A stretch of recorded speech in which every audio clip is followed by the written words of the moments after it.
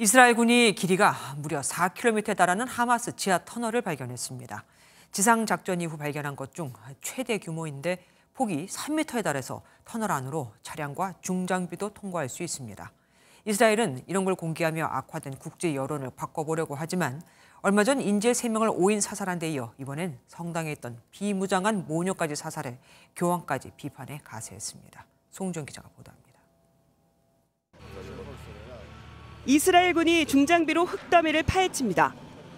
강철벽은 용접 장비로 뚫습니다. 밤샘 작업 끝에 이스라엘 남부 에레즈 국경 검문소 근처에서 시작해 가자지구로 4km 이어진 대형 터널을 발견했습니다. 폭 3m 정도의 원형 구조물이 이어졌고 최대 깊이는 50m로 차량도 거뜬히 통과합니다. meant to do a terror attack on the Erez crossing. The Erez crossing that symbols hope, and this tunnel that symbols horror, terror, conflict. 터널 책임자는 하마스 최고 지도자 야이야 신와르의 친동생이자 칸 유니스 지역 사령관인 무함마드 신와르로 알려졌는데 실제로 그가 터널에서 차를 운전하는 영상도 발견됐습니다. 이스라엘은 대규모 기습 공격을 위한 신와르의 비밀 작전이라며 군사 작전을 이어갔습니다.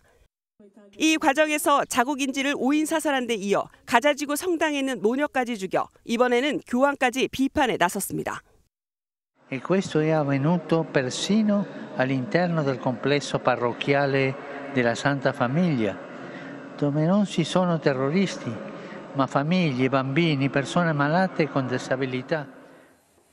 미국도 설리번 백악관 국가안보보좌관에 이어 오스틴 국방장관을 이스라엘에 파견해 저강도 군사작전을 압박할 예정입니다.